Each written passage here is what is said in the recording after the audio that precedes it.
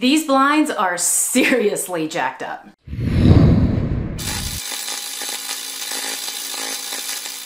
Now, there's a couple of different things going on here. First off, the apparatus that controls the wand that opens and closes the blind is broken. Also, there's a drawstring that's broken. Now, I could go uh, and get myself some new blinds, but that wouldn't be me if I didn't try to fix it first. And I think I'm gonna start with the wand. Piece for this, I could not find it in my local uh, home improvement store, which for me was Home Depot. I had to actually order the replacement piece on Amazon, but it was only four or five dollars for two of them. So really cheap, definitely a lot cheaper than replacing the blinds entirely. You're gonna start by carefully pulling out the center bar.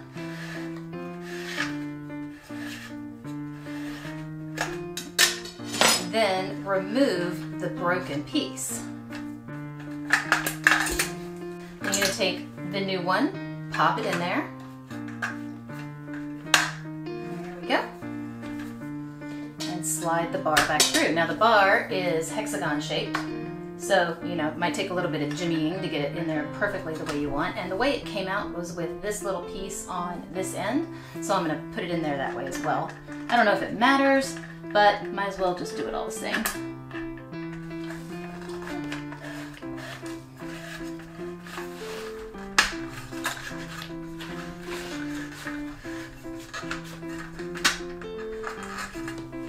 Then we'll attach the wand to the little hook there. Ah, turns perfectly. Now comes the bigger issue of restringing this bad boy. It's day two, and yesterday I did restring these blinds, and I'm not gonna lie to you, it took a long time, probably about an hour and a half's worth of frustration. You know, the first time you do something, it always takes a lot longer. Well, I guess there's probably a few exceptions to that. Once I got it all back together, I was really proud of myself, and then I realized I'd made one vital mistake. The string I had used to restring it was nylon string, and it was too slippery for the gear on the inside of the mechanism that holds it into place to hold it, so it just slipped right through, and I still had the same problem on my hands. So I got to restring it. Ugh. But the good news is that because I went through all that frustration yesterday, I figured out a few tricks to make it a lot easier on myself.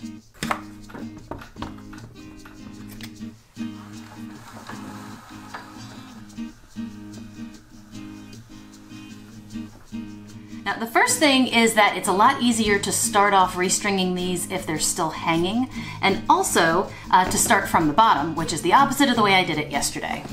Now I've got here some cotton twine that I bummed from my mom yesterday. She had a big roll of it, so I didn't have to buy any, which was nice. It's a little bit difficult to thread this twine through these little holes. So if you happen to have a large needle with a large eye that you can thread this through, that's great.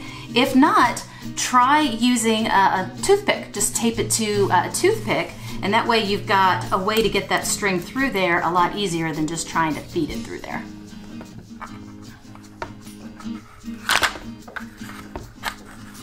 As you're weaving this through, you want to make sure that you go on opposite sides each time of this little rung on this rope ladder here. If you don't, it's going to slide like this on you. That last one's a little bit hard. ah, that was so much easier though than trying to do it when they're laying down. Now it's time to take them down. String has to go into this tiny little hole at the top of the blinds. And on top of that hole is one of these spindles that helps turn uh, the blinds to open and close. I struggled and struggled. I frustrated the heck out of myself. I actually took my needle and bent it slightly so that I could get around the little spindle here. And now that I figured out how to do it, I feel like a big dumb idiot. What you do is you take the center bar and you slide it out of the way, take the spindle out, and then you can actually feed the thread right through that hole. Then the string needs to go right through there. Drop that back in there, slide the bar back in place, Now then take your string, poke it through where the other string is, and make sure that it comes through that opening on the other side of those two little bars from the other drawstring. I'm gonna go ahead and put the cap back on the end of this. And down here, I'm gonna cut it a nice long length from the spool so that I've got plenty to work with.